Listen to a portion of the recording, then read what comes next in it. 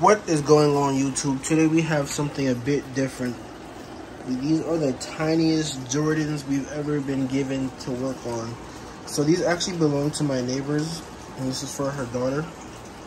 And she was just like, can you clean these up for me? I was like, of course I can. And these are actually really cool because like these are like really tiny. Like, look at my hand next to the shoes. Like I can just like on both of the shoes, so it's really cool.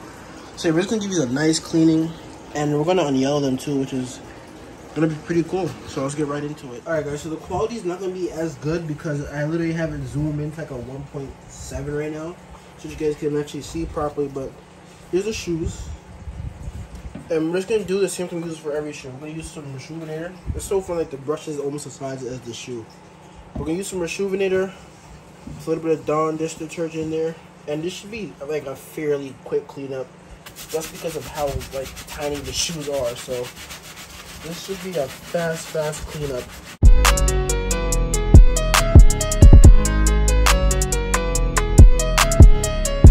So now I'm just gonna use my stiff texture brush just to scrub the midsole and mainly the outsole. The midsoles aren't too bad, but they're just the outsoles.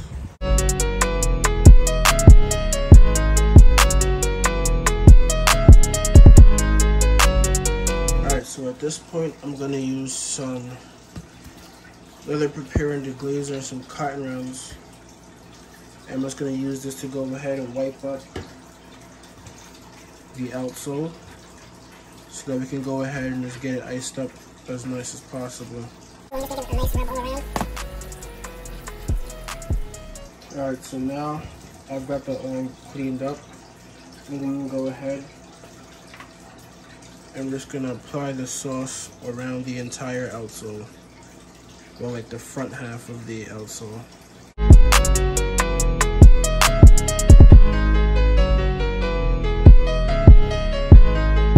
Alright guys. So I have some distilled white vinegar in this cap right here. And there's these yellow stains left over on the floors. So I'm just to use that with a paintbrush. I'm just to apply it around to the yellow stains around the shoe. So it's pretty much like around the upper sides. And it's going to be the same process with the ice box. We're just going to throw them in the ice box. And it should get rid of these yellow stains on the shoes.